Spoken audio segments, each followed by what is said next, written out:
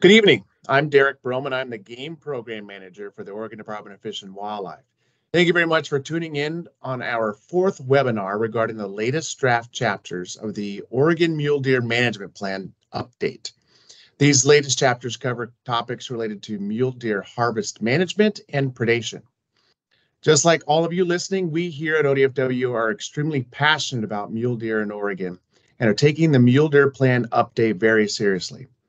This plan update is an all hands on deck approach for the agency. The content shared to date is the collaborative product of numerous wildlife biologists, wildlife researchers, and other subject matter experts with combined decades of experience and ongoing innovative research. For tonight's topics, co-authors for the draft chapters include biologists and researchers who specialize in mule deer management, carnivores, and predator-prey relationships. ODFW will continue to pull in experts to help in our goal in updating the mule deer plan. With that, let's get started with tonight's webinar. As stated earlier, we'll be discussing two chapters, harvest management and predation. We will start off with staff presentations and then finish with a live Q&A session. If you're watching live, hopefully you saw the notification to submit questions or comments in advance to increase the likelihood of being included in the live Q&A session this evening. We will be receiving questions live, but please recognize we may not get to all of the questions received, and you're welcome to submit questions afterwards as well. All questions can be submitted using the link in the YouTube video description below, the QR code, or on our Mule Deer Plan webpage. Starting out tonight is a pre-recorded presentation from Dr. Don Whittaker, the ODFW Ungulate Program Coordinator, followed by Dr. Josh Smith, ODFW's Mule Deer Coordinator. We've recorded these presentations in advance so that we might minimize any technical difficulties, but Don and Josh will be a part of the live Q&A session and as always are available for follow-up email or phone call. So Don, if you would, please proceed with your portion of the presentation.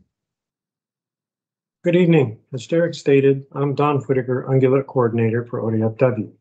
I'll be discussing the harvest management process for mule deer management in Oregon. But before I dive into my topic for the evening, I want to reiterate that the purpose of these webinars is to share information and get your feedback on this revision throughout the process. It is much easier for us to address concerns and comments when they are submitted in advance and using the form on our Mule Deer Plan website. Even if you want to submit your comments tonight during this webinar, please use this form.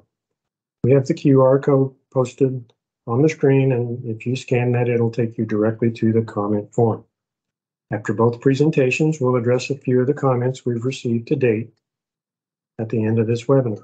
Note that this webinar and questions is being recorded for later viewing as well. For tonight's webinar, we'll be discussing harvest management and predation. Note that the Mule Deer Plan revision process began over well over a year ago. With this new format, we're releasing sections individually to provide more time to review each of these individual sections. We're using this webinar format to provide that information, discuss that information, and then allow for a little bit of Q&A. Our plans are for a full, complete draft later this winter of 2023-2024, with tentative adoption by the Fish and Wildlife Commission here in Oregon in early 2024. Harvest has a long history with mule deer. Early on, mule deer were important for subsistence and survival of our Native Americans, explorers, and settlers. Through time, mule deer hunting has evolved into a recreational activity, and harvest is often now the desired outcome. To no one's surprise, regulation has followed right alongside. Um, it's ranged from no regulation at all during the settlement and, and um, exploration periods to complete hunting closures and even through some very liberal unlimited seasons. We use a relatively simple basic model for harvest management or allocation. We start with information about the population of mule deer. That includes the, the number of animals, the composition of that population. From there, um, we determine an available or desired level of harvest, both by type of animal harvested and the number of animals we'd like to see harvested. This is turned into hunting seasons, which we implement using hunters. They go out, have their hunting season, and they come back and they report to us what they did, how they did it, where they did it, and what they took. This feeds right back into the model as we start talking about the next round of hunting season. Establishing deer seasons is a multi-year process. The current seasons that we're currently enjoying were established over a year ago using information we collected from 18 to, months to two years ago. As we're in the middle of the current seasons, we've also started developing our information and preparing seasons for next year. We use data compiled from the ongoing seasons and our winter population and composition surveys to get things set so we can and those seasons for next year were established by the Fish and Wildlife Commission in September. Setting hunting seasons is an open and very public process. We provide ample opportunities for people interested in mule deer hunting and mule deer ecology and management, and just mule deer in general. Typically, the decision on a mule deer season or tag numbers and regulations are set by the Oregon Fish and Wildlife Commission. Key to the basic harvest model are goals for harvest or hunting. These are the reasons why we want or need the seasons. There are four predominant goals for hunting season in the West Bermuda. In areas managed for optimum hunting opportunities, tags are generally easy to get and hunters tend to enjoy more frequent opportunities to go mule deer hunting. Hunts with this goal tend to have high hunter numbers and younger bucks make up a high proportion of the harvest. This is an important harvest goal since the leading desire expressed by hunters when surveyed is to be able to hunt frequently with some chances of seeing and harvesting a deer. The goal of mature, mature buck hunting management is somewhat opposite to optimum opportunity. To have a high proportion of mature bucks in an area, hunter numbers must be restricted, and sometimes those restrictions are dramatic. These types of hunting opportunities are definitely harder to get. Hunters hunt much less frequently these in these areas, but older and larger bucks tend to dominate the harvest. Desires for this type of hunting opportunity are growing, but they are still a much less provided reason for hunting than being able to hunt frequently. Population management is an important tool for wildlife managers, and this is often a goal for the harvest. Harvest can be used in situations where deer populations are too high for the landscape or population stru structure is dramatically out of balance. Female harvest is the primary mechanism by which population size and structure are aligned. In some livestock and agricultural areas, conflict management may be a goal for the harvest. These situations are very similar to population management in that female harvest is our most useful tool. It is important to note here that these goals can sometimes interact and it's common for some of these hunts to have multiple goals. Beyond the goals for a hunt, there is a lot of interacting information we consider when developing a season or a hunting opportunity. Legal requirements like Oregon revised statutes are important. An example of that would be the wildlife policy for the Oregon Department of Fish and Wildlife. Statutes also set up many of the sideboards for our hunting seasons and they they guide such activities as landowner preference and disabled hunting and, and such things as that. Oregon administrative rules are also a legal requirement. These are the net result of statutes and they include such things as regulations and legal weapons. Importantly, uh, management objectives and uh, items like management plans, including the Oregon Mule Deer Management Plan, our Oregon administrative rule, and their legal requirement. An important and obvious consideration that we have to look at is the deer population status. We're always looking at the population performance, the trend in relative number, recruitment, and the structure and number of bucks and does and fawns. Importantly, the population status should be tied to the management objectives.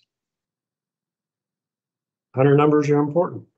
By hunter numbers, we're talking about um, whether we're going to allow unlimited hunter numbers or have some level of control. And these are linked and usually tied to the harvest goals. An example would be for mature buck harvest, uh, we would limit the number of hunters. If we're looking at opportunity, those would be less limited. Typically, unlimited hunts are only allowed when the population being hunted is very high, with very high productivity, or in some cases, unlimited hunts can be used where risk of being harvested is very, very low. The deer are not very vulnerable. We don't ignore public desires. In fact, we, we are trying very hard with this new process to get public information. Um, typically, most requests from hunting types would include weapons selection. Um, folks hunting with similar weapons, muzzleloader or archery, like to hunt with folks in the field with the same weapon and the same effectiveness. Season structure includes lots of things that we look at. Um, timing and length of the season affect harvest rates and harvest amounts. Um, the number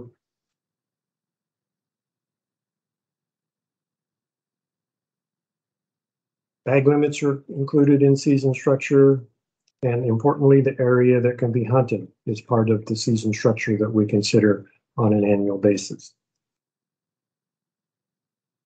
As mentioned, an important legal requirement are management objectives.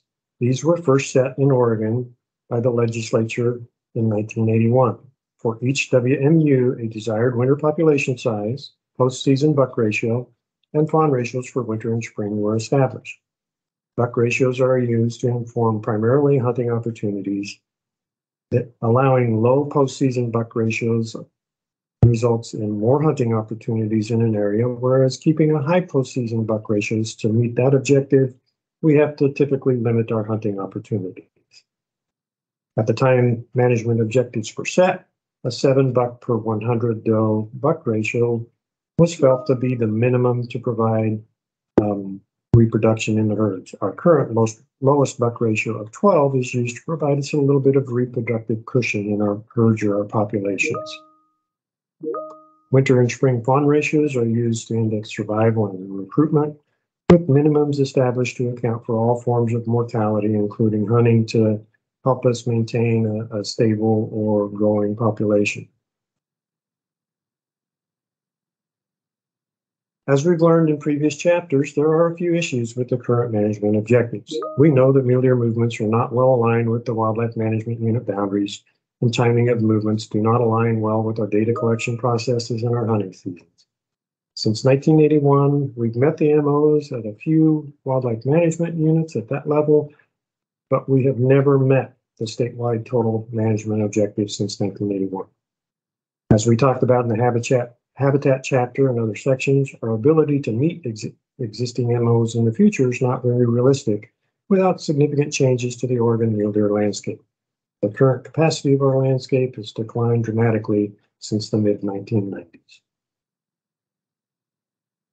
Oregon's harvest regulation started in 1991 when the 1901 when the legislature established the first season for deer. The first limited hunts for mule deer began in 1938, and rifle hunting in eastern Oregon, eastern Oregon wide, became controlled in 1991. And only just a couple of years ago, we included archery harvest and all other hunting seasons for mule deer as limited, and you must apply and draw the tag. Hunting and harvest has followed the trend of mule deer numbers through time. That decline is or that population has been declining, and so has the hunters, and so has the associated harvest. it's important to note that the decline in hunter numbers and, and hunter harvest is a result of ODFW action in response to those population trends. As the population has come down, we have responded by limits to hunting opportunity and harvest to keep deer conservation in the forefront. Importantly, one of the biggest obvious changes is the proportion of female harvest. In the, the, the, days that everybody remembers in the 60s and 70s, um, females represented as high as 40% of the harvest. In the 1960s through 2002, that dropped down to 10 to 20%. And currently, our female harvest is less than 10% of the total mule harvest. Moving into our issues and strategies for harvest management, our number one issue is that the demand for mule deer hunting is increasing, but our ability to supply those opportunities has declined as populations have declined. To address this in strategy one, where our improved monitoring and modeling strategies indicate populations are responding in those areas where habitat and other actions are being implemented, we will increase the available hunting opportunities. Secondly, in strategy two, these same monitoring and modeling strategies will allow us to more critically evaluate population trends relative to MOs in a manner where we can look for other areas with potential to increase hunting opportunities. Issue number two is that female harvest is extremely low now. Um, that same monitoring will allow us to critically evaluate all kinds of things. First and foremost is we have quite a number of radio collared deer still out on the landscape and have collared over 2,000 since um, the early 2000s.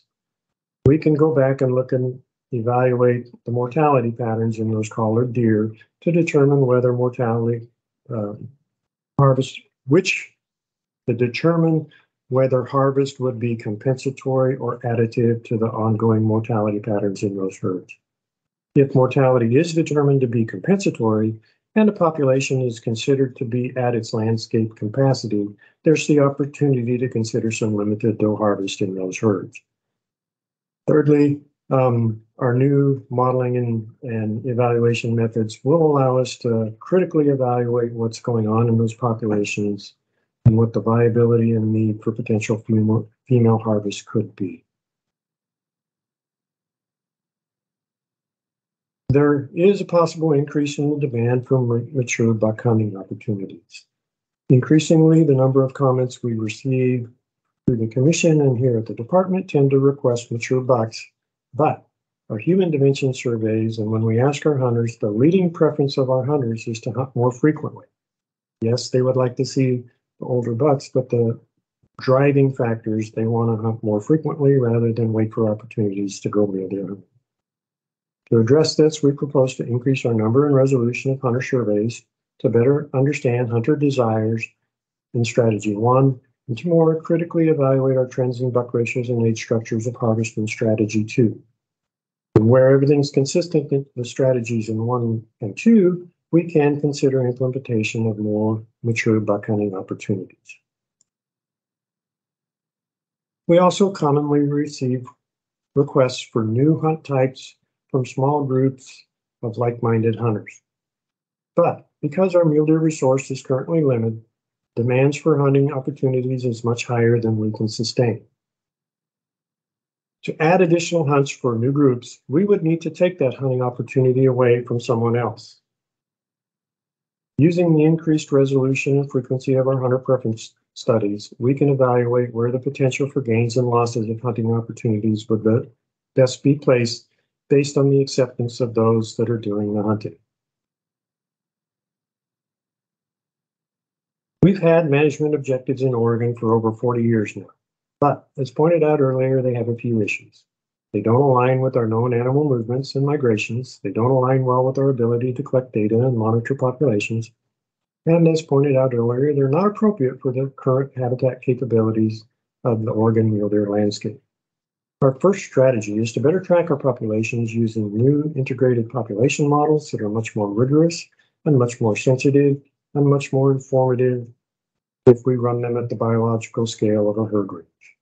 These models produce more realistic ranges of important population parameters to better inform our management decisions. Our second strategy is to use the information from these IPM models to establish population-based performance metrics for both the short-term and the long-term management of mule deer in Oregon. As actions are imp implemented in the herd ranges for deer, these more reliable and sensitive metrics will do a much better job of letting us know where we can go with our hunting and harvest management. These new short and long-term objectives are forthcoming in an appendix and will be presented during the next webinar. The appendix will be structured by herd range, and it's going to include background information on the herd range, the management objectives, the population information, and importantly, it's going to include a listing of potential actions that would benefit mule deer in that herd range. Finally, our last issue, including the last two strategies and management objectives, we know that our surveys uh, need to be aligned and our models need to be calibrated from the Wildlife Management Unit to the herd range. For this, we're going to continue our periodic surveys and data collection on the populations and the composition of those call, those herds to align and calibrate those models. Further, we know that our management objectives in mule deer are tied to many other processes in statute and rule. Um, so as an important strategy, we need to evaluate where those ties are and what can and should be done relative to those ties.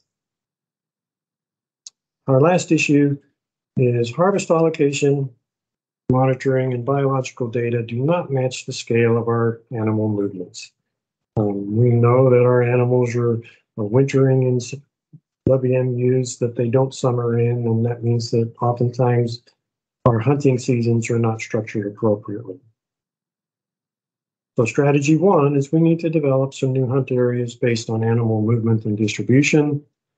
Followed by strategy two, we need to change how our hunting opportunities are allocated to match those areas. It may seem formidable, but it's really not as serious as it looks. Um, in the second strategy to allocate those 100 opportunities based on new hunt areas, we're using the animal movements and winter and summer district distributions to design what these hunting unit boundaries are. They may not necessarily be WMU based, but we're going to try to follow WMU boundaries wherever we can. Some units may be split, but it won't be as complicated as it sounds. If we look at the north side herd range on the left graph, which is a northern red outline, there are seven WMUs included in there. The new hunt areas potentially could be as simplified down into as few as five based on where the animals winter and summer and move to and from to. With that, I would now like to turn this webinar over to um, Dr. Josh Smith, where he'll discuss issues associated with predation.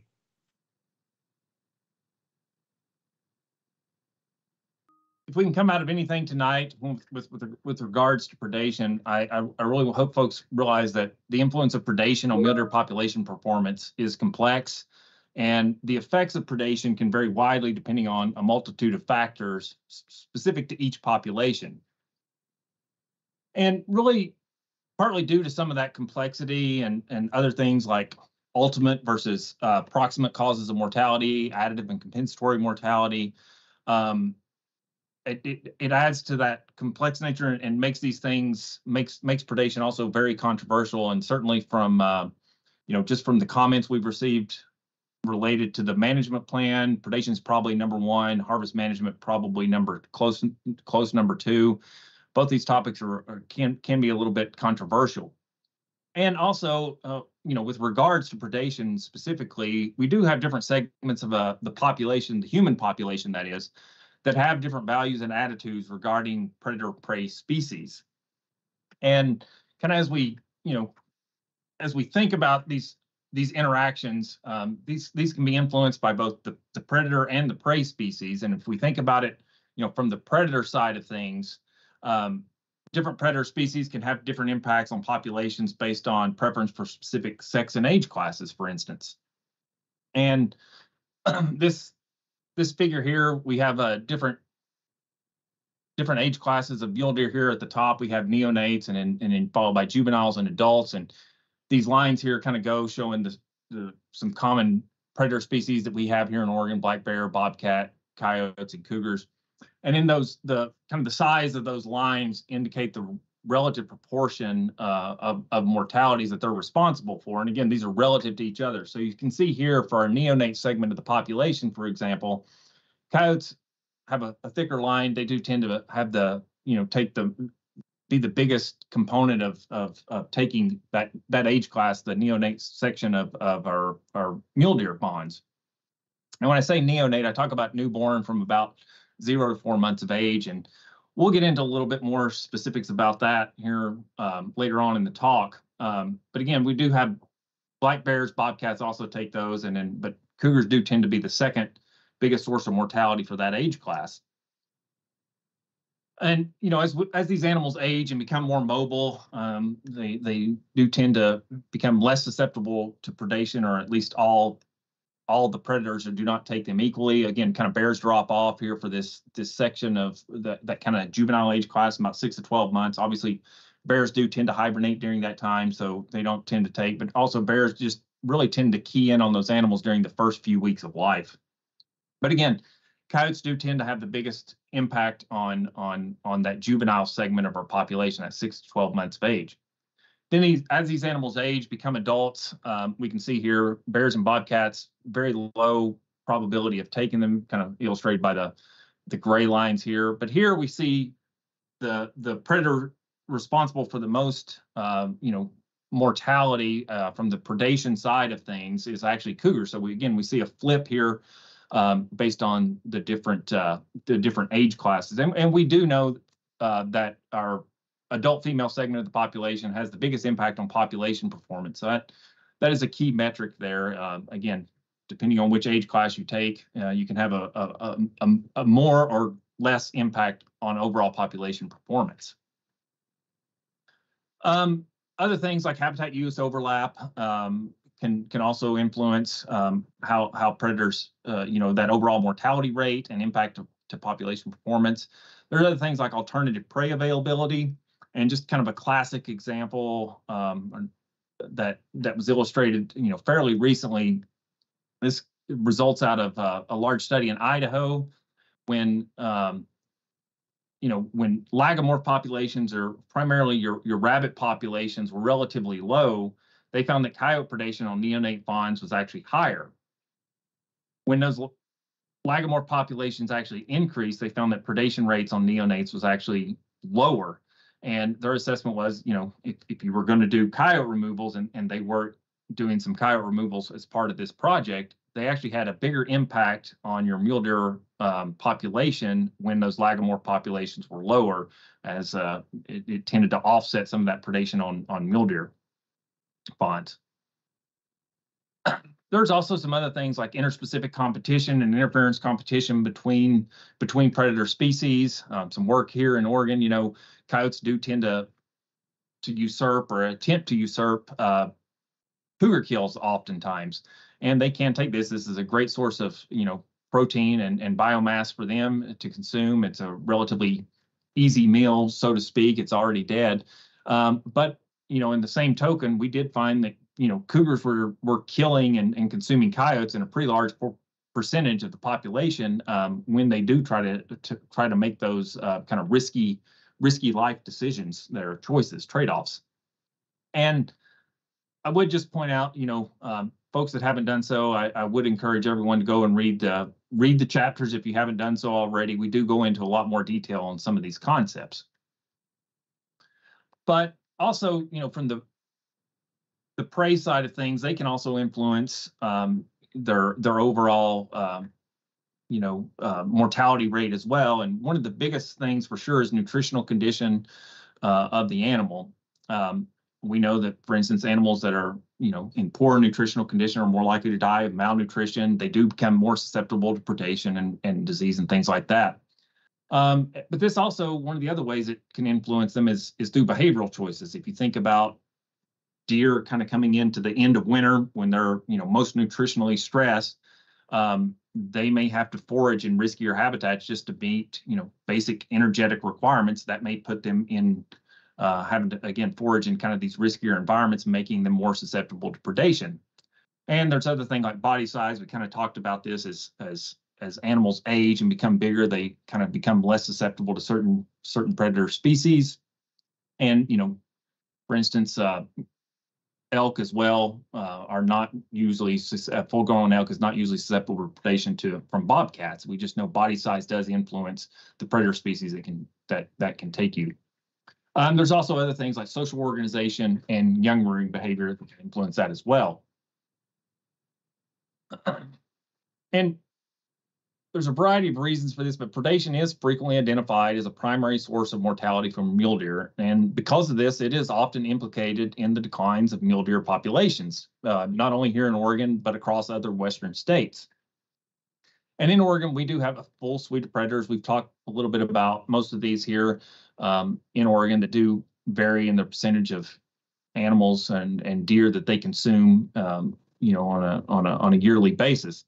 Uh, we do have wolves in the state. They have made a natural recolonization, um, but just from a relative population standpoint, um, wolf numbers are relatively a lot lower uh, in in respect with with respect to just overall. Uh, in comparison, I should say, I guess to to black bears and cougars and and coyotes and bobcats and those sort of things. So um, tend not to be as as important, uh, but that can vary locally depending on wolf densities and stuff. But when we do think about these mortality rates and things like that, is it, it is important to tie in um, to overall survival and not just think about it in terms of the proportion of mortalities. And I'm going to go through a, a, series of slides here. Uh, we present some of these in the in the chapter, but I do want to give a few caveats on the on the data here. Again, I mentioned we are I am presenting these as an overall mortality rate, not the proportion of mortalities. And data come from several different sources. Uh, we're going to present data for neonates, juveniles, and adults. And the data for neonates comes from a research project in Northeast Oregon from 2014 and 16 and Starkey Experimental Forest. It's part of uh, part of a, a, PhD work that was going on there. So about three years of data here, so a little bit smaller sample sizes than these other ones. The data for juveniles is based on data from 2019 to 2023. We've been collaring about 50 animals per year in three different herd ranges um, since that time. So about 150 animals were collared in December, following those till the following, um, essentially June 1st, May 31st. So a six month time frame. So this would be an overwinter survival estimate of those those mule deer juveniles.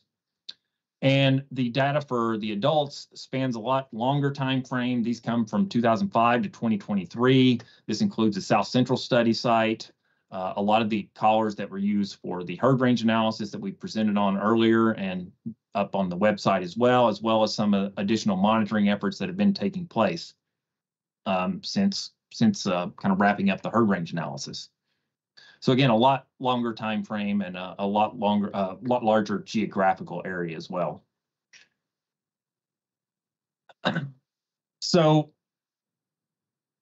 I would just point out, you may see some numbers here that don't jive with some estimates that you may have seen previously, um, and those are more likely to be because, again, we are presenting as an overall mortality rate, not a proportion of mortalities, and this incorporates a lot more varied data, again, both spatially and temporally. So we're using a lot of this data from across Oregon uh, and across a, a lot longer time scale. And to get the data, we did subset uh, a lot of these down um, based on known causes of mortality. So you will not see any unknown causes of mortality.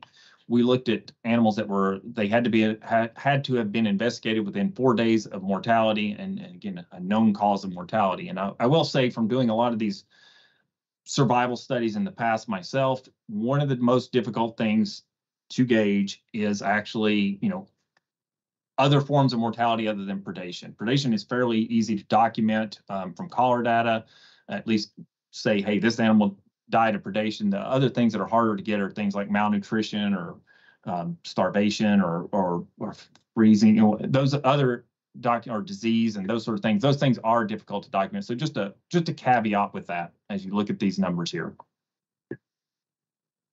So the first um, estimates are for again that neonate um, mule deer segment, the youngest segment, and this goes from birth to approximately um, the first four months of life. And Neonate mule deer, like pretty much all other ungulates, tend to be have the highest mortality rates. This is when they are most vulnerable and have a wide array of possible predators that can take them. But what we found again over this three-year time period in Starkey, that's that 36% of those animals survived and 64% die, and the majority of those do occur within the the first few days, weeks of life, for sure. And as we look at these and break these down by specific causes, we do see coyotes account for nineteen percent and cougars account for eleven, so about thirty percent total here. And um, again, these are going to be based on this mortality rate is sixty-four percent. So this number on the pie chart to the right will sum to sixty-four percent, not one hundred. But again, coyotes do tend to be our biggest source of mortality, excuse me, followed by cougar. Bobcat and bear each making up about six percent. We do have an additional nine percent from unknown predator species and natural causes accounting for about thirteen percent. And just for a little reference um, here and, and some, I guess, context more, there was a recent review in uh, the new mule deer management book that just came out earlier this year, the predation section um, that was written by uh, Hurley et al. 2023 and out of out of out of Idaho there found neonate survival averaged approximately 43% across the West and the studies they reviewed. So um, definitely from for this time frame, we're a little bit lower than uh, than those other studies um, across some other Western states, but again, kind of within range there.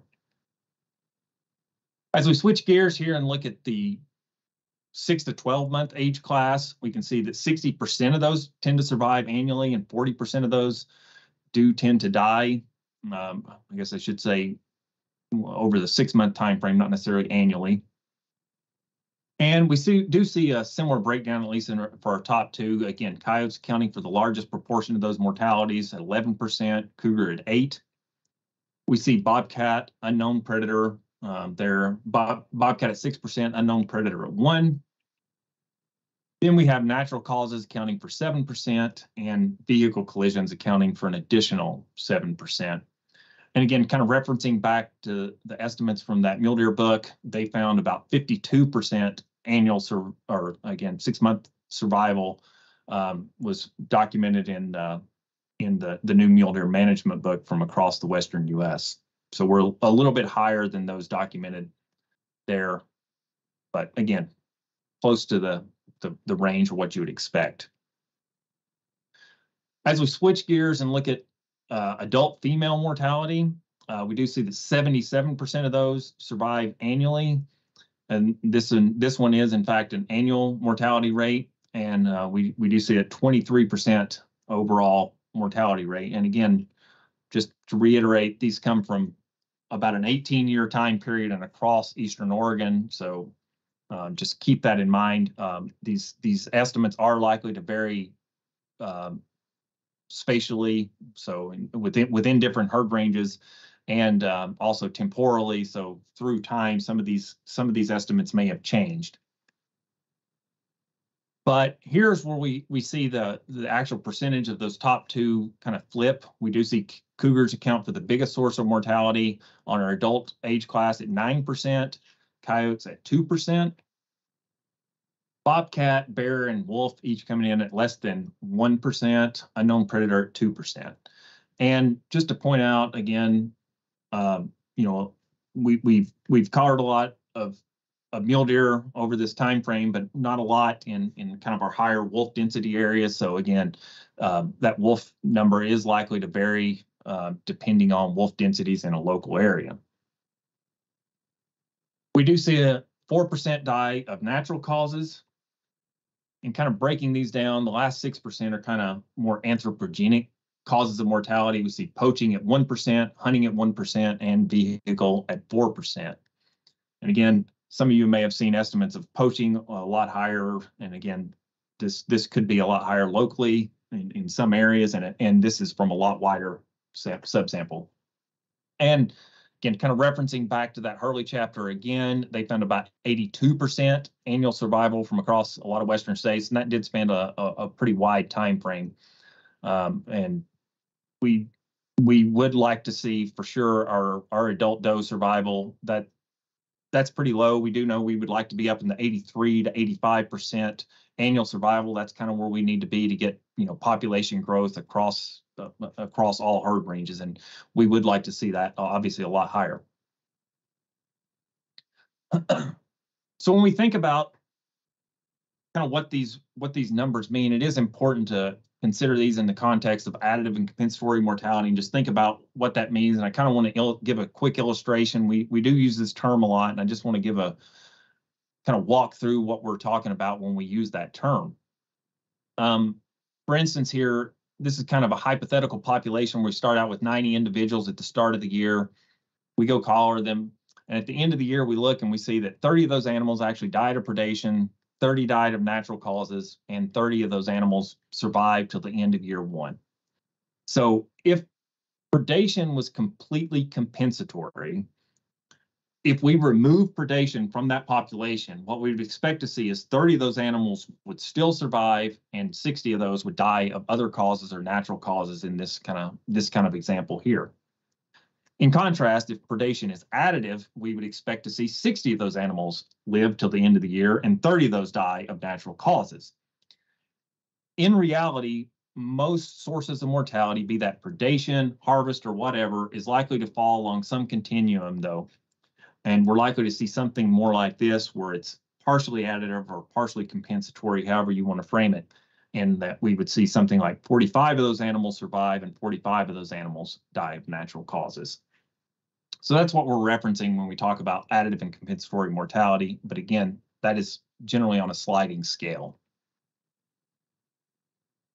And, you know, I bring this up because we here in Oregon have attempted to, to look at, you know, kind of reducing at least not maybe not removing the entire predation pressure um, as well as other researchers in, in several other states have have looked to try and you know implement some sort of study to see what happens to these populations when you remove the predation pressure or at least reduce it. And since the early 2000s, ODFW, we have implemented seven target areas, six for cougar and one for coyote to reduce predator densities in the area with the goal of increasing population performance. There have been some others to, to look at other things such as human safety concerns and, and, uh, and livestock depredation and those sort of things. But I'm, I'm really just going to focus on the ones that we're specifically targeting uh, uh, ungulate population performance here. And you can see there's two different colors here. The kind of the yellowish color, those were more elk focused areas. Um, that Wenaha, Ukiah, and Heppner units, those were cougar target areas where the goal was to reduce cougar densities, reduce number of cougars in those wildlife management units, uh, with the expected response being we would see uh, increased cow-calf ratios in the in the winter fall and then we also implemented four additional target areas. Three of those were for cougar, the Steens, Warner, and Interstate, and a coyote removal area to improve uh, that was more mule deer focused.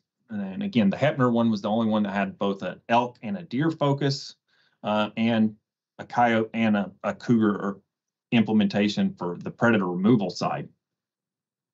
And we kind of got contrasting results if we look at what we found for the elk removal sites here in the Heppner Ukiah units, we did find actually that it did improve um, cow-calf ratios in the fall. We did not find any effect in the Wenaha unit though. In contrast, um, when we look at um, all four areas that we implemented these for mule deer, um, we really found no population level metrics that indicated um, we were successful uh, in improving any of those metrics, both abundance or fawn-doe ratios uh, in the in the fall in those. And just a, a few caveats, we did we weren't really able to meet target objectives in any of these areas other than maybe the the coyote removal area um, for our, the, the target of removing the number of predators we wanted to remove on the landscape we failed to do that in all units, not only for deer, but also for elk. But we still, you know, we were able to find some some positive benefits to elk and not deer. And we do know that, you know, there's there's a variety of reasons that we may not have found. I mean, some of that may have been monitoring techniques. Um, we weren't using anything more than just kind of our, our normal monitoring techniques to gauge that. But um, there are some, you know, behavioral, uh, biological, and just life history characteristics that differ between mule deer and and elk. Uh, one of the biggest things is is uh, you know pregnancy rates. Pregnancy rates for mule deer tend to be high, run upwards of 95 to 90 98, 99% in most populations. Um, elk, one of the biggest determinants of whether they breed or are pregnant the, the next year is whether they recruited a fawn or a calf the following, the previous year. Um, but the biggest thing that impacts mule deer population performance when it comes to nutritional quality is is fecundity. So they're more more likely to have more doe, more fawns when when nutritional condition is uh, is good on the landscape, and they can have upwards of 1.7. So you can have the potential for very high growth rates, and you have the potential increased population performance even under high predation rates. But when we we do see kind of these lower nutritional conditions potentially, we do get lower reproductive rates, and that influences fawn survival. Um, one of the biggest determinants of whether that fawn survives through the first that neonate age class is birth weight. That's been a, a huge de determinant. Um, similarly, one of the biggest things that influences that six month time time frame is weight they are when they enter winter. And there's a recent study just came out, I think it was either this year or late last year from Lamb et al.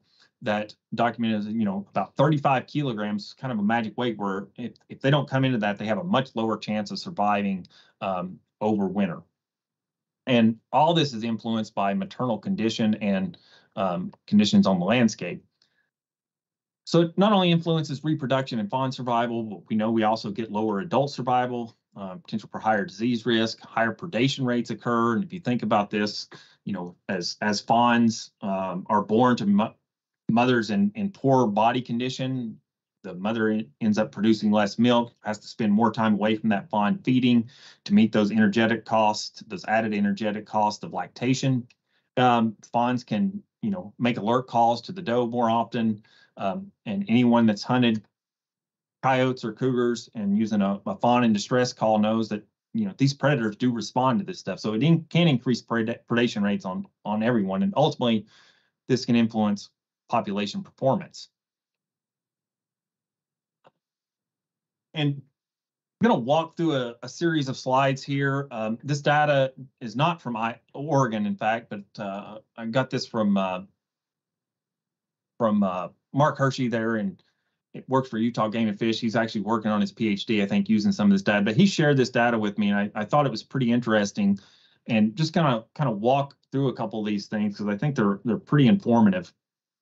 Um, these graphs are going to show December body fat on the x-axis, and just the the key point here is the lower numbers, the poor poor condition that animal is in when it comes into winter, and the higher numbers, the better condition it is.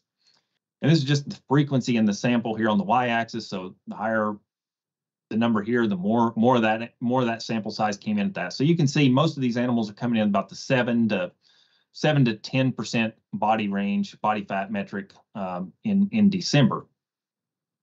And again, this is just the frequency in the sample.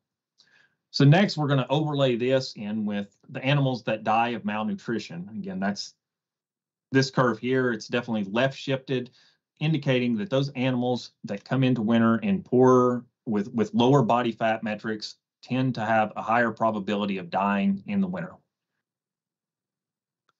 And again, this is the same graph here on the left. I apologize. I couldn't really manipulate these, but I, I wanted to kind of show these in, in to have side-by-side -side comparison. So that's the same graph we just showed.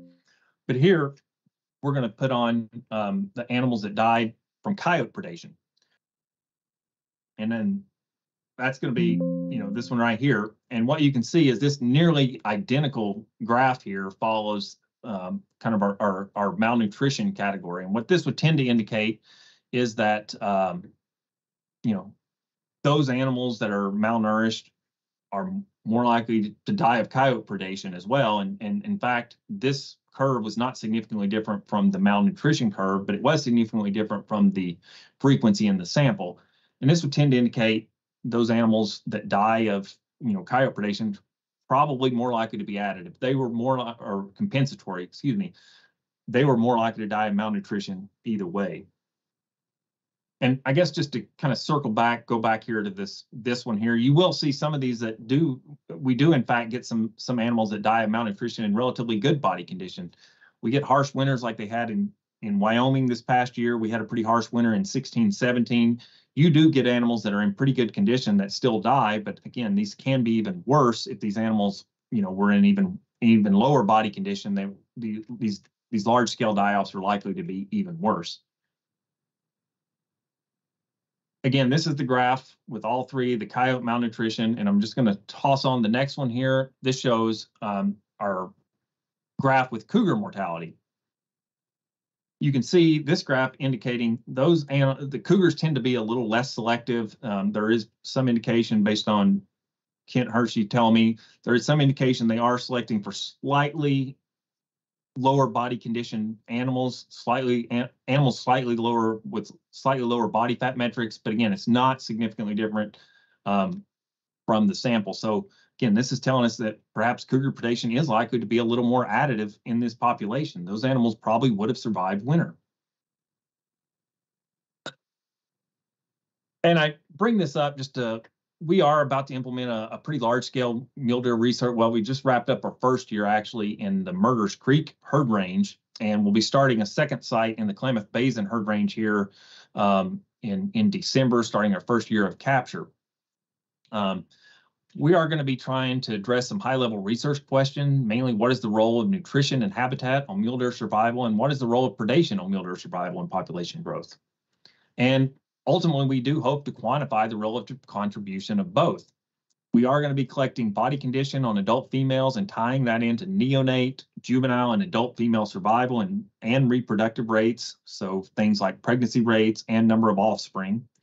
And we'll be looking at variation as well in carnivore densities, both spatially and temporally, and how that affects population performance. So we'll be looking at carnivore densities both between study sites and across years within study sites to kind of gauge how changes in predator numbers um, influence uh, overall mortality rates. And kind of to give an idea of how this might work and how this might tell it, what this might tell us at the end of this. This is a hypothetical example. Again, we've collected one year of data, so th these are again hypothetical. I can't stress that enough. Um, examples of what's something we might find. But if we look here, if say we get at the end of this five years and we have a population growth rate in Murders Creek of 1.03. So just for reference, anything above one on this number indicates population growth. This would suggest this population is growing at 3% annually over that five-year period. Um, and we see that they're coming in in relatively good body condition. In contrast, if we go into Klamath Basin and this population growth rate is 0.92, meaning this population was declining at 8% annually over that five year period, and their body fat metric is 7.6%, this may indicate we have a nutritional issue in the Klamath Basin. Whereas we could also see a hypothetical example for a predation issue. say we have those kind of same body scores in in in Murders Creek, but see uh, a, a 0.95 indicating that population is declining at 5% annually. Klamath Basin at 1.01 and they come in at 10.2% body fat, both in relatively decent body condition coming into winter, but this population does not tend to be growing. Well, this could indicate that we actually do in fact have a predation problem in that herd range. And I kind of threw this in, this was kind of an example that was from um, that Utah actually found. They've been they've been collecting these body score metrics on about seven or eight different of their different herd ranges, but they kind of found a sort of similar condition in one of theirs. They found two herd ranges that were both uh, equally performing equally poor. I mean, about nine nine percent, eight percent um, population reduction um, per year over several years found that one, in, in their, this case, let's say Murders Creek was at 11.1% body fat, Klamath Basin at 7.6%. Again, this could indicate predation problem in Murders Creek, Klamath Basin, we've got a habitat issue. And this kind of leads directly into some of our first uh, issues and strategies here. Um, First is to develop a more comprehensive assessment of the degree predation is additive or compensatory. Obviously, one of the big things we are going to be looking at is this research project to help guide some future management actions um, and, and, and looking at that uh, in, a lot more detail. We also have uh, the collaring efforts that I mentioned earlier. We're going to continue monitoring those, look for changes over time by predator species and any emerging trends in mortality source um, to see see how those uh, change through time to kind of give us an indication of areas that might warrant uh, you know further investigation or looking into deeper. Issue two, you know, it is preferable to use hunter harvest to manage predators in Oregon consistent with management objectives for mule deer as well as other ungulate species.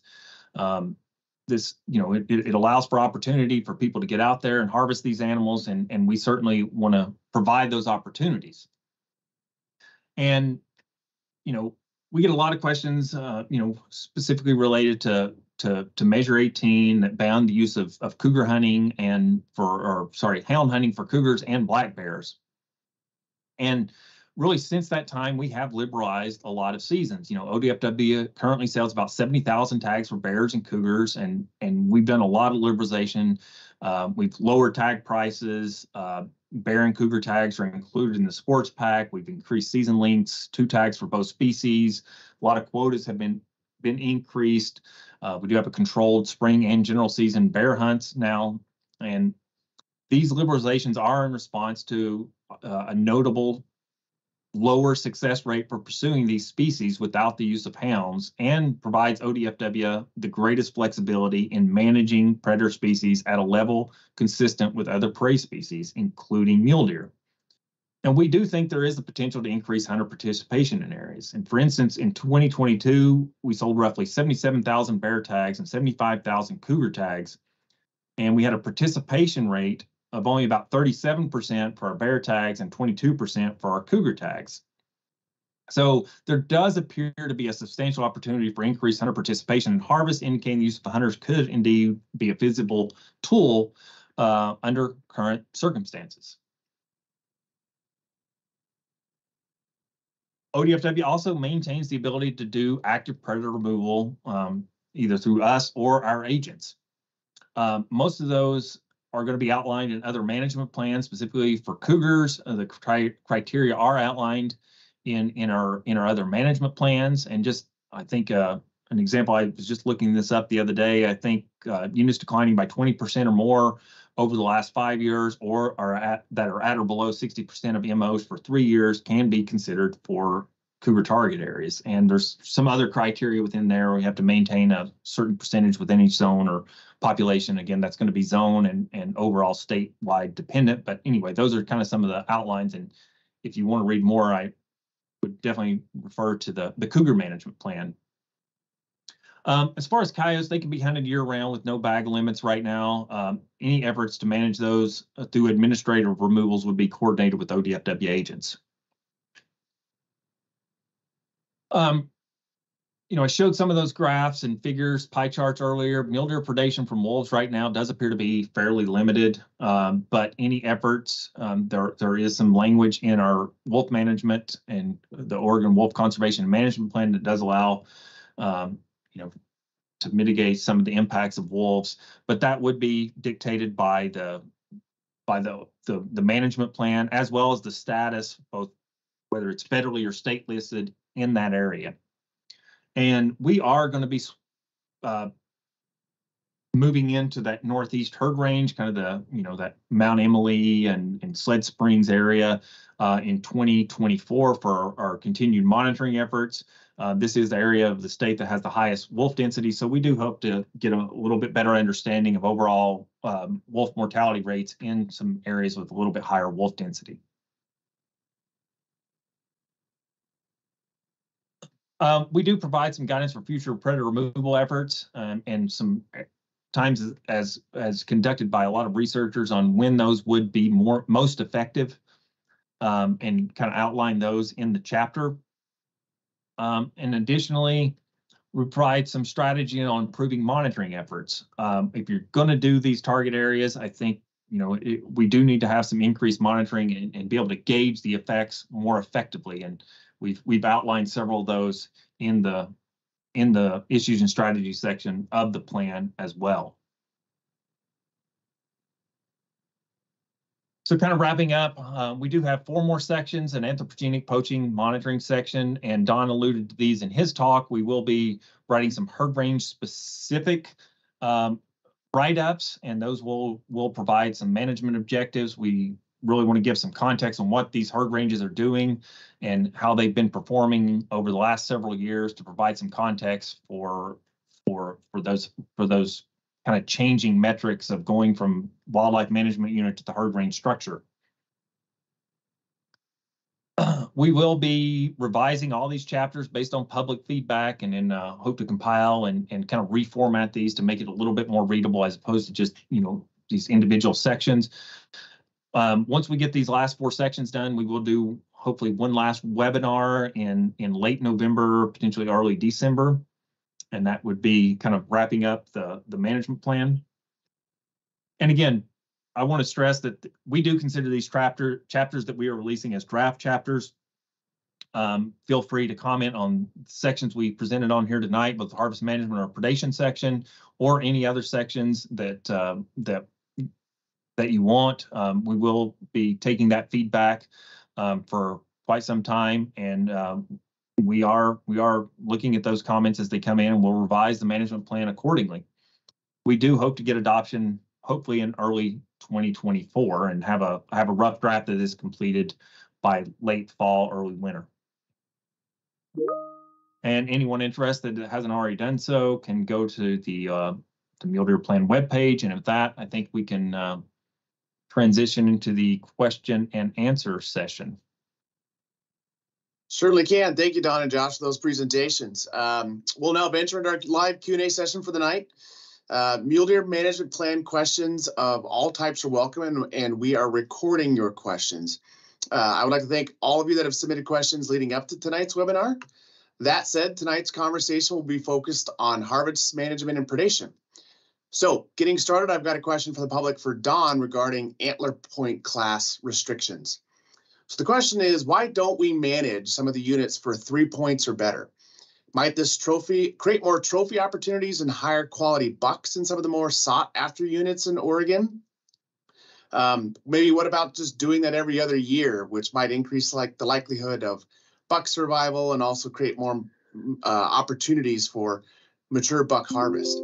Um, so Don, with that question and in your response, if you would, could you please describe what everybody's getting at when proposing these uh, point class restrictions just to make sure that we're all familiar what that concept is.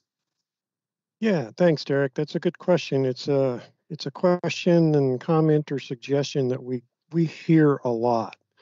Um, basically, I think the theory is is that if we restrict buck harvest to only animals that have a certain number of points on at least one of their antlers, say three point or four point or better, um, the thinking is is that will add more bucks and add more opportunity for a little bit larger, more mature buck. I think a lot of this is coming from the whitetail deer management world where that's pretty common and it tends to work okay in whitetail deer, but mule deer are not whitetail. Um, almost every state in the West has tried some form of antler point restriction. Those that have tried it have all almost ubiquitously found that it doesn't work. Basically, what it does is it tends to delay the harvest, the heavy harvest from younger bucks to two and three year old bucks. Over the long term, it does not result, or none of the other states have ever found that it's resulted in higher buck ratios or a higher proportion of uh, larger antlered or high, higher number of points on these bucks. In fact, when it does occur, that tends to be pretty short lived and uh, it just doesn't work very well. So another question for you, Don, um, regarding management objectives. So one of the concerns is out there is that uh, is ODFW just lowering those MOs so they can actually achieve them? Uh, yes and no, mostly. uh, mostly. Um, just to be honest, we are realistically lowering our population MOs or adjusting our population MOs to a closer range to what the actual populations are on the landscape. When the populations were originally set in 1981, they were set at a number that was pretty darn close to um, the perceived population size of mule deer on the landscape. But that landscape has changed, and what can realistically be expected for our landscape to support is much less than it was um, 10, 20, or 30 or 40 years ago. So we're doing two things. One, we're bringing them down to a realistic and achievable level um, so that it gives us actually more sensitivity in our efforts and monitoring of our efforts to improve those mule deer populations. So a little bit of both. So for you, Josh, um, obviously a lot of predator questions have been coming in uh, since this whole period started. Um, and so now here's the chance to kind of address some of that. So one of the common questions that comes up is why isn't ODFW doing predator removals, especially when predators might be the limiting factor?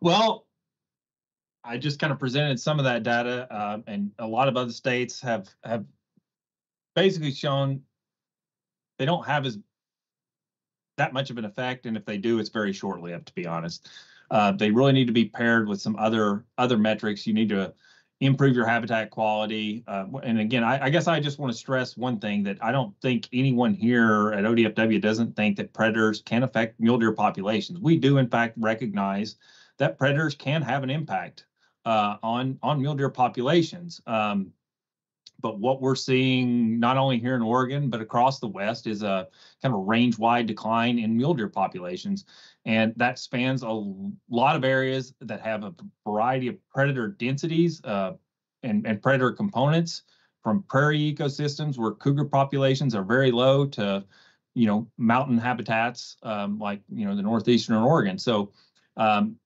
there's there's a variety of things taking place there uh, that are going on, uh, but uh, you know, again, the short answer right now is is we haven't been implementing them because they just they really haven't shown much effect. So along those lines of of effects of predators and such, a lot of times we get questions about um, Measure 18 and the the prohibition on the use of hounds. Um, did the deer population start to decline around the time of that ban using dogs for cougar hunting and when that went into effect? I'll borrow an answer from Don. Yes and no. I mean, they continued to decline after that.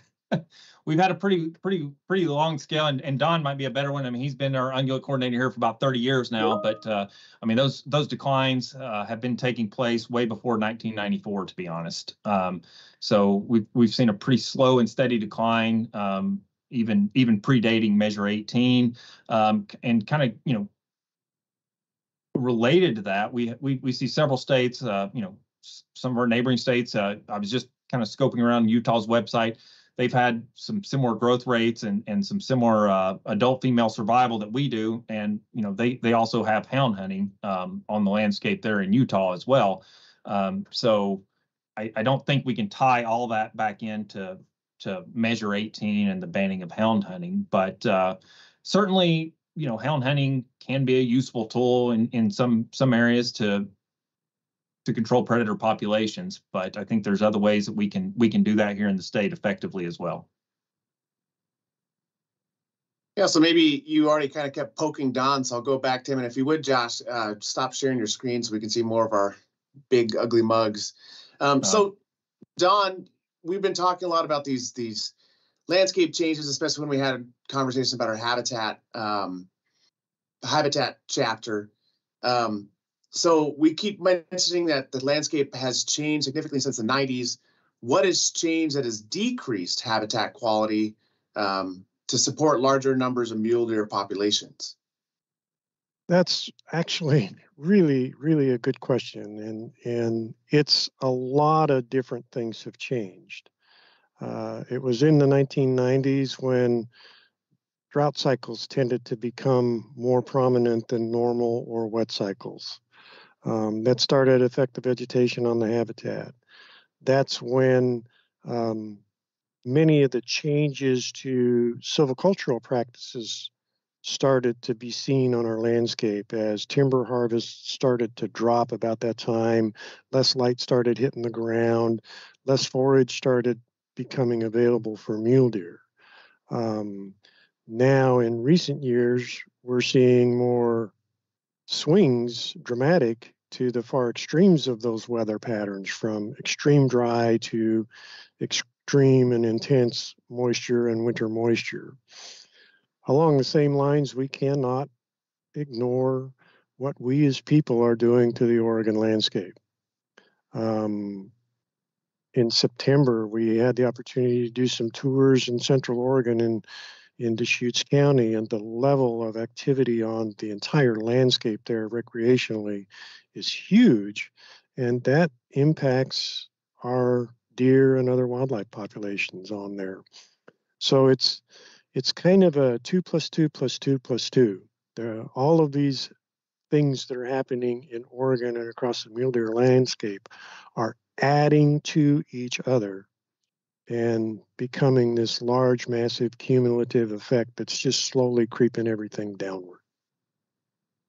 So sometimes we get those proposals though of like, okay, if the, you know, uh, there's all these factors contributing and things you know people are concerned seem out of control.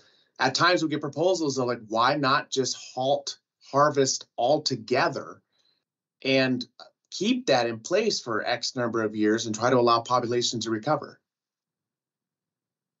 Another good question. Um, and i think the answer to that is that our current mule deer populations are very at or very close to or at what the likely new capacity to hold mule deer is.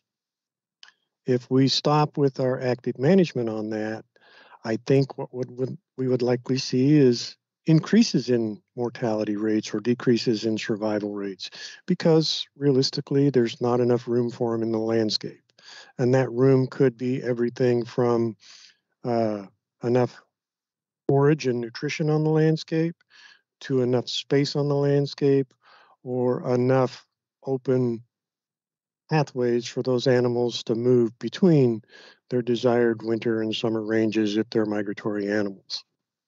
So I think the simplest answer is they're at what our current capacity is. What we need to do is continue our management, which is conservative from a harvest standpoint. We focus our harvest on bucks that have essentially zero or very little effect on population growth rate because of their reproductive strategy, and we need to redirect and focus our effort on changing the capacity of the landscape to improve the number of mule deer numbers out there.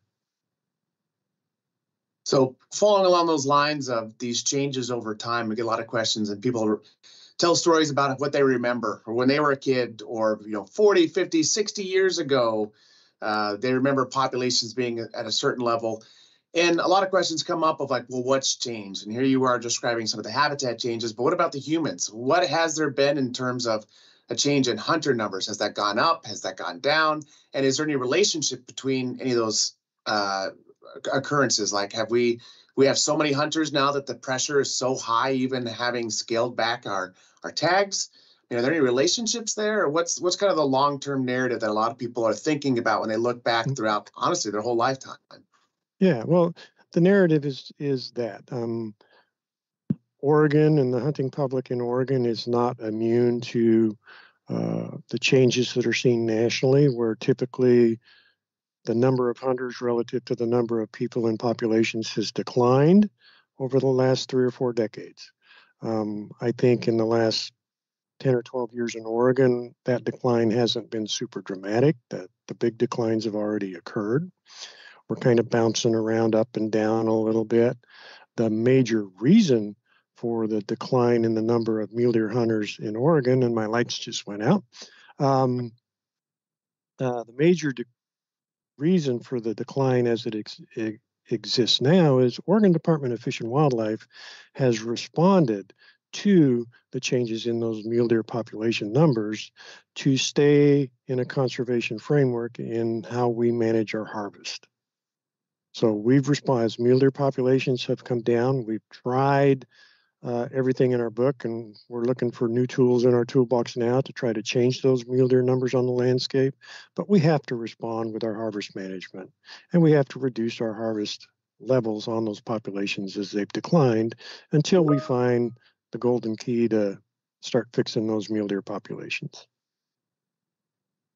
Thanks, Don. I appreciate that dive. Going back to you, Josh, talking about predation. So we get a lot of comments, a lot of concerns about, um, you know, the state reports we've got 7,000 cougars across all age classes in Oregon. A cougar kills a deer every seven to 10 days.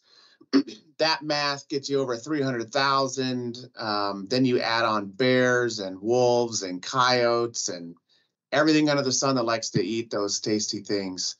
You know, that seems like kind of a very daunting, um, no good look that really creates a lot of fear and concerns from our public. What's what's your response to that?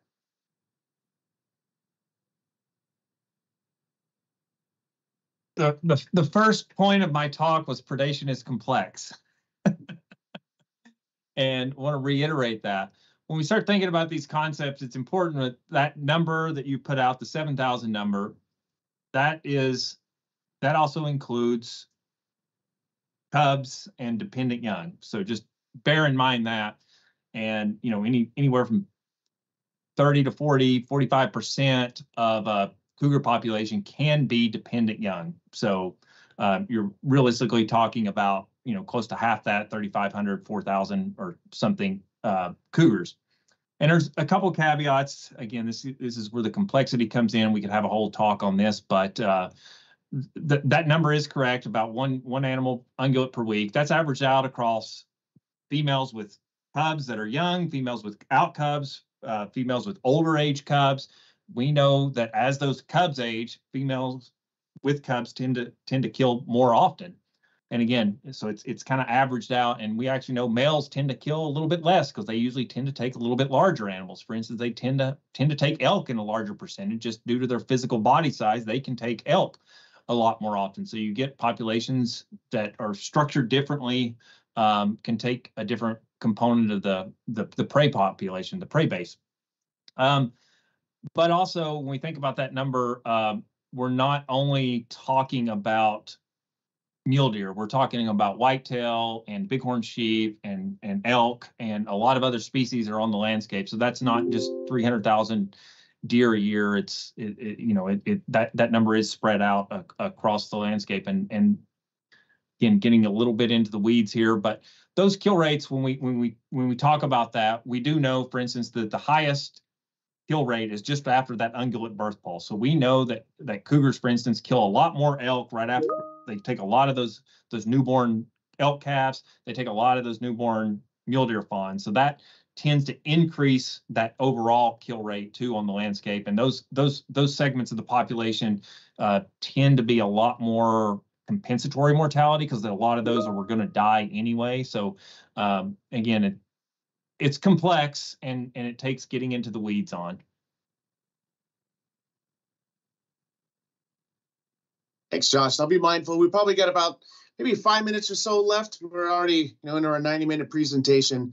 Um, so maybe I'll, I'll hit one back to Don and, and so it comes to population management, uh, concerns of mule deer populations. We know females are such an important critical component to populations and their trajectories. So why do we even consider uh, doe harvest when populations are so low?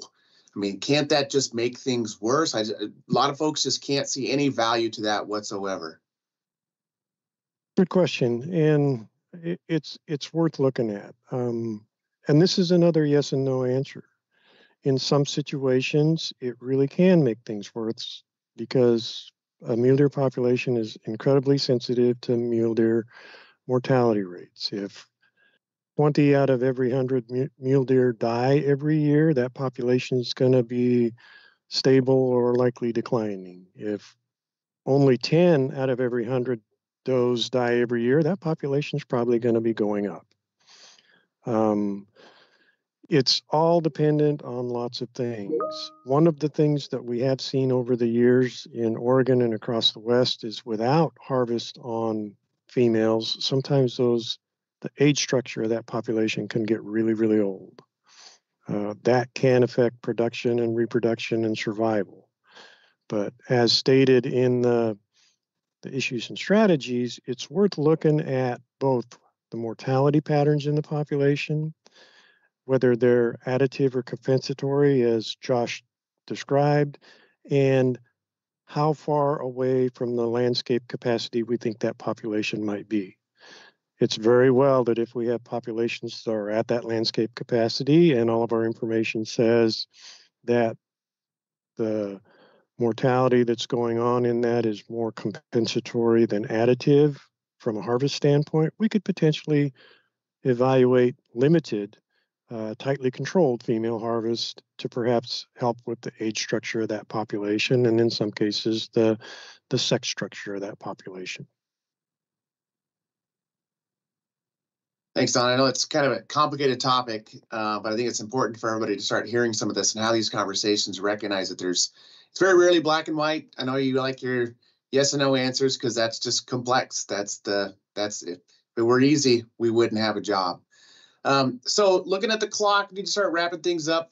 Um, Josh, wanted to give you a chance to, to have any last kind of final thoughts or ideal take home messages that you'd like for everybody, um, maybe regarding these chapters or how they've connected to everything, or even get a pitch for the, the next go round. I'll let Don think about it when while you're responding.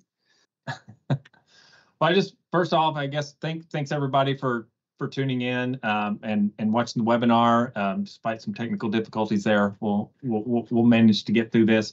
But again, I just want to go back to my opening. I these topics, especially the, predation section, when we start talking about that, it is complex. It is controversial. We do have a lot of different segments of of the population that that value predator and prey species differently, and that does that does create you know some some balance that we have to strive to to find within. But certainly from a, a wildlife management agency we are looking to manage all species at, at, at, an effective level. And we we we try to strive to find that balance between both predator and prey species on the landscape and uh, and and try to strike that balance and and hopefully as folks read the chapter and digest the information that we presented in there, uh, I think we we we we hope to make that clear and that we we do care about this resource and are going to do uh, whatever it takes uh, to to kind of ensure their their long term viability and ensure they're there for future generations. So, my that's my pitch. Thanks, Don. Or thanks, Josh. You, Don? Yeah, I'll just kind of um, lead right off of what Josh says. You know, we care and we're paying attention and we care enough that over the last 20 plus years or so, Oregon Department of Fish and Wildlife has invested an immense amount of money, an immense amount of time, and an immense amount of brain power trying to develop and understand the absolute best science and data and information that we can use to manage our mule deer. We look at what we've done here in Oregon. We look at what all of our colleagues in the West do. Uh, I've been on the mule deer group working group Westwide for 15 years. Josh is attending those meetings as well. We're paying attention, we're learning, we're experimenting, and we're using the best that we can find to help inform our management direction. And hopefully, a lot of that's going to show up in these sections and chapters of this management plan to, to keep us on track and do good things and hopefully improve mule deer. Great, well said. Well, thank you, staff and everybody, for watching. Uh, we generally value your participation in this effort to update the Oregon Mule Deer Management Plan, and we all look forward to additional engagement. So stay tuned for additional chapters to be set to be released in the coming weeks that will cover anthropogenic, poaching, monitoring, and herd range information and objectives. Corresponding webinar will on the topics will likely occur sometime in late November. Finally, as stated earlier, questions and comments are welcome at any point throughout this lengthy process and can be submitted via the link in the YouTube description below. Thank you, everyone, and have a great rest of your evening. Good night. Thanks.